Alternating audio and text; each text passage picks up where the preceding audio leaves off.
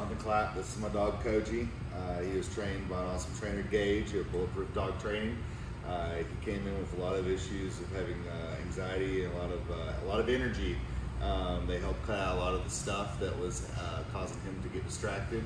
He's well trained and a better dog than when he came in, so I definitely recommend it to anybody else.